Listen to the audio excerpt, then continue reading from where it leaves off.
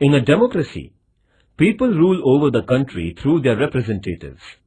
In this chapter, we will see how these representatives are elected. We try to understand different terms in the process of election like voter, candidate, political party, etc.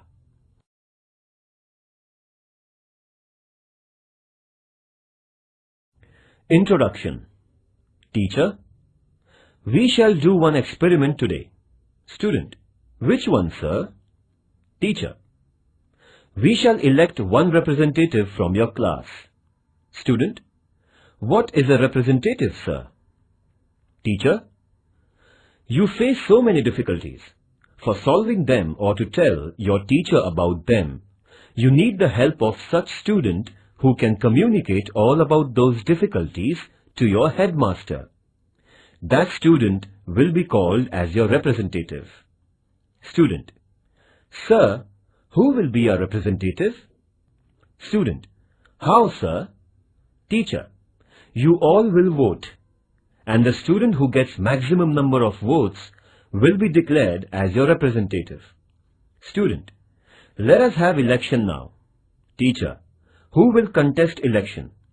Student A. I will. Student B. Sir, I will. Student C. Sir, I will also. Teacher, now I will explain you everything.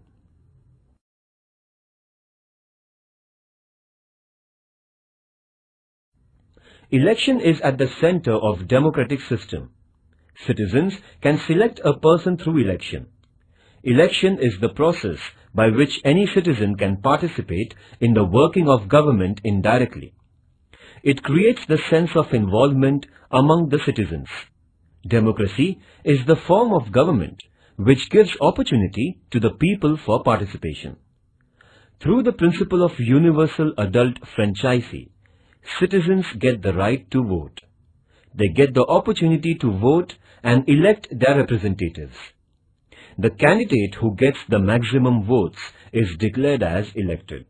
Thus, the group of elected representatives comes together and forms the government.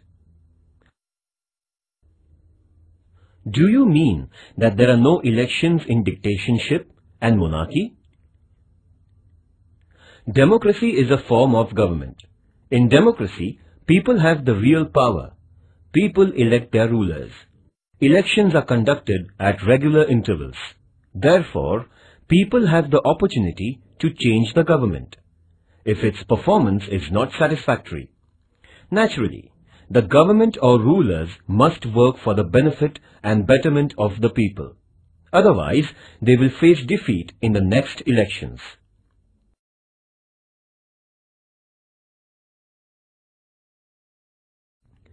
Famous definition given by Abraham Lincoln. Democracy is government of the people, for the people, and by the people. Early history of democracy is related to ancient Greece. In some cities of Greece, all citizens participated in decision-making. In ancient Greek cities, the population was limited. So, it was possible for each and every citizen to directly participate in the working of the government. It means Greek citizens of those cities were collectively taking decisions on any matter which was related to their life. It is known as direct democracy. It was possible for all citizens of the Greek city to gather together and to take a decision on the basis of majority. As the time passed by, the population increased. Now, it is not possible to include every citizen in the decision-making process directly. Therefore, the new system of representative democracy has emerged. People elect their representatives and those representatives on behalf of the people run the government. Is there any country which has direct democracy in modern times? First, what is democracy? Second, what is direct democracy?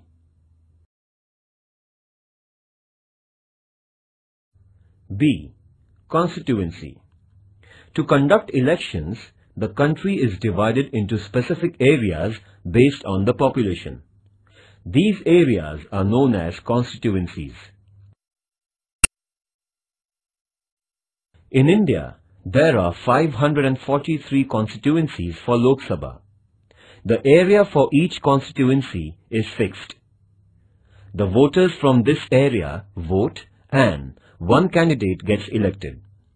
Lok Sabha constituency is for electing the member to Lok Sabha and the member who is elected from this constituency is known as Member of Parliament, MP. Similarly, the state has legislative assembly constituencies. The elected candidate from Legislative Assembly is known as Member of Legislative Assembly, MLA. At the local level, the elections for Municipal Corporation or Zilla Parishad are also conducted. The elections to Panchayat Samiti and Gram Panchayat are also conducted by the same method. Do we have 50% reservation for women even at Lok Sabha and Vidhan Sabha elections?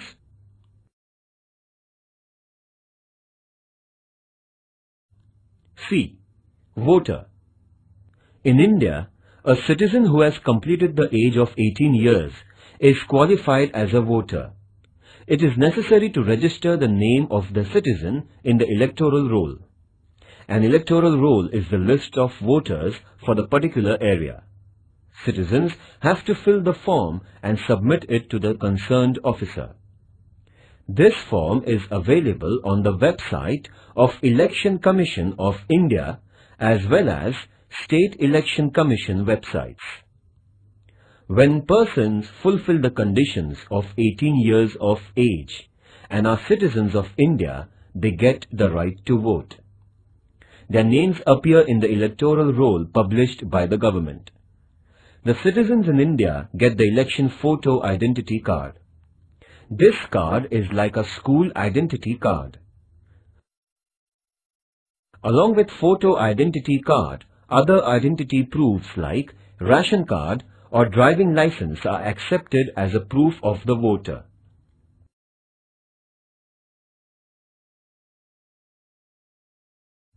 D. Candidate any person who is a voter can become the candidate, but there is a difference of age. For example, in India, the voter should be at least 18 years of age and the candidate for Lok Sabha should be at least 25 years of age. There are other conditions for the candidature laid down by the laws. Any person who fulfills these conditions can fill the nomination form and pay the deposit.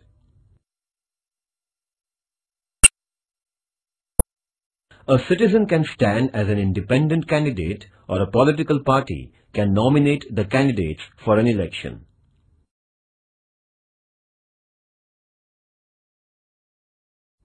E. Political parties Political parties are important in the functioning of democracy. A political party is a group of people who share same ideas about public questions. Political parties contest elections with their candidates and run the government if elected. Parties form different policies and programs on various issues related to the people and the country. They can implement these policies after getting elected. It is necessary for parties to secure the support of the majority of voters.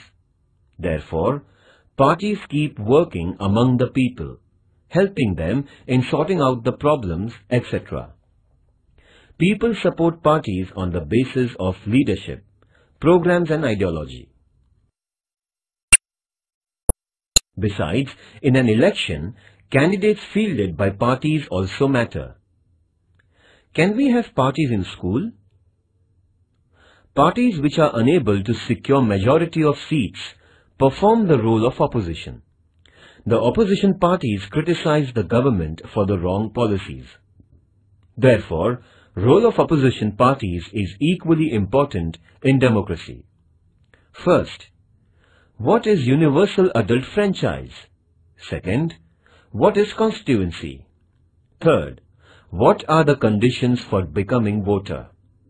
Fourth, what are the conditions for becoming candidate? Fifth, what is a political party? Sixth, do you know the name of main opposition party in India currently?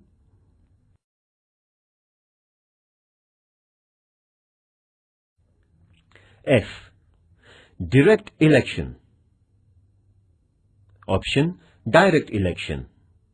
The voters in India elect the representatives to Lok Sabha and state legislative assemblies. This is called as direct election. People directly vote for their representatives. Indirect election. Option Indirect election. Elected members of Lok Sabha, Rajya Sabha and Vidhan Sabha, that is, State Legislative Assembly, vote for the election of the President of India. This election is known as indirect election. In the election of the President, the citizens do not vote directly. People's representatives elect the President on behalf of the people. It means people indirectly participate in the election of the President.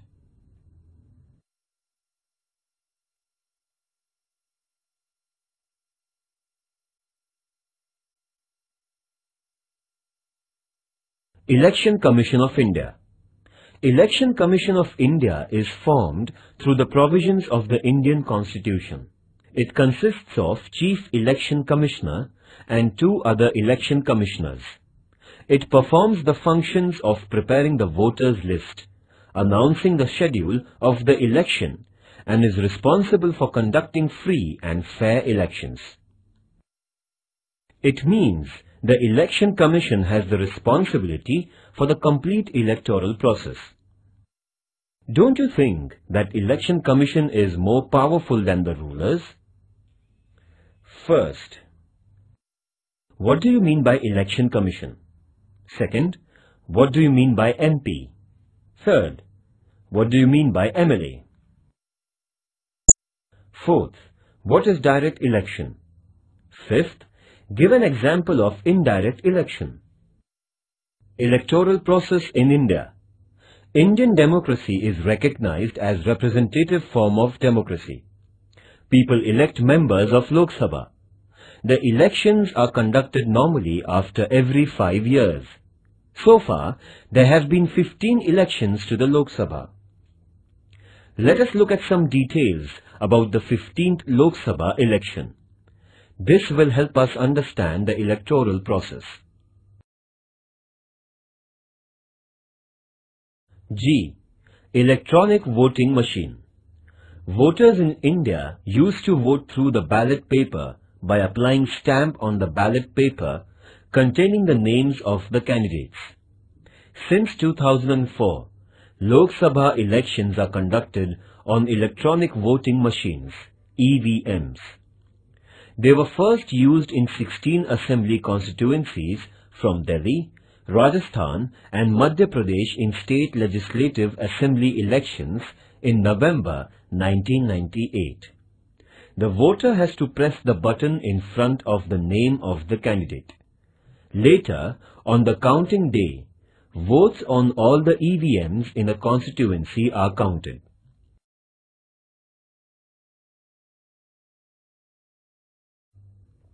15th general elections to Lok Sabha were announced on 2nd of March 2009.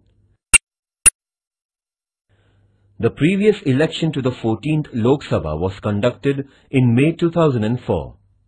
General elections were held to the 15th Lok Sabha in five phases between 16th April 2009 and 13th May 2009. There are 543 Lok Sabha constituencies and one representative is elected from each constituency. 79 constituencies are reserved for scheduled castes and 41 constituencies for scheduled tribes. Only person from these communities can contest election from such constituencies. There were 71 crore 40 lakhs voters in 2009 Lok Sabha elections. The results of the election were announced on 16th May 2009. On 22nd May 2009, Manmohan Singh was sworn in as the Prime Minister.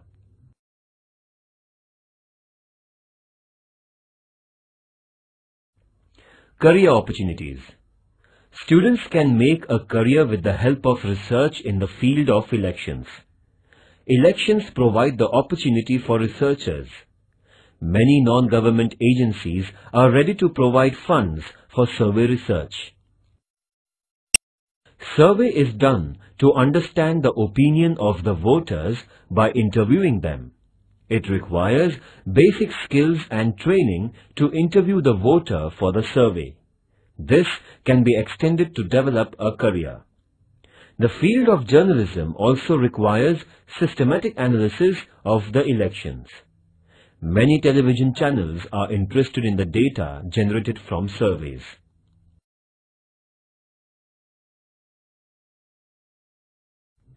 Protection of environment the use of EVMs that work on battery saved around 1,50,000 trees which would have otherwise been cut for production of 1000 tons of paper required for printing the ballot papers if traditional system of ballot boxes was adopted. Activity Find out the number of women candidates who won the Lok Sabha elections in India since the first election. Search the names of your mother or sister in the voter list on the website of Maharashtra Election Commission under the tag Search Engine. Collect the information about any of the recent election from your state or region.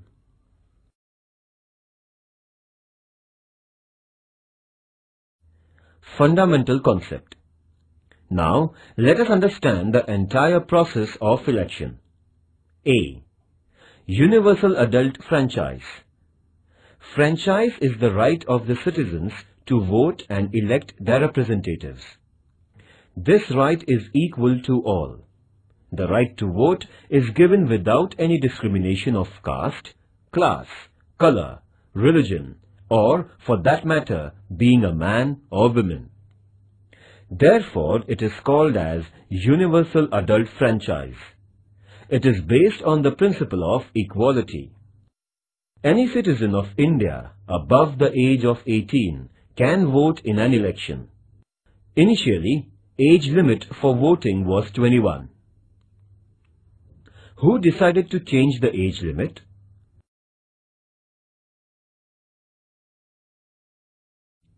Percentage of voting in India 2009 58.99 percentage 2004 57.75%, 1999 59.73%, 1998 62.04%, 1996 57.94%, 1991 56.73%, 1989 58.23%, 1984 63.53%.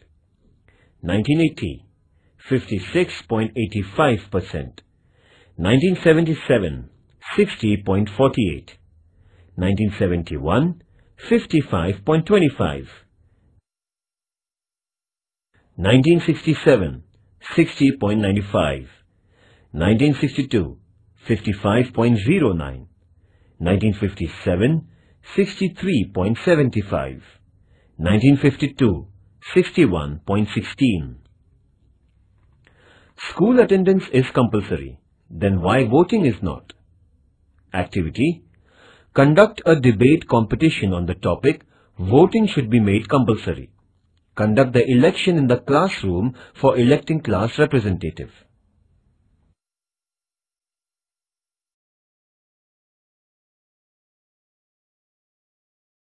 For example, here is the map of the Gadchiroli-Chimur parliamentary constituency in Gadchiroli district of Maharashtra. It includes six legislative assembly constituencies within its area. Total number of voters 12,85,387. Number of candidates 11. Number of voters voted 8,37,247. Polling percentage 65.14. Candidate A Party 1 2,93,176 votes. Candidate B Party 2 1,35,756 votes. C. Party 3 3,21,756 votes. Declared as winner by 38.43%. Candidate D. Party 4 23,001 votes. Candidate E. Party 5 4,972 votes. Candidate F Party 6 4,228 votes. Candidate G Party 7 7,240 votes. Candidate H Party 8 4,392 votes.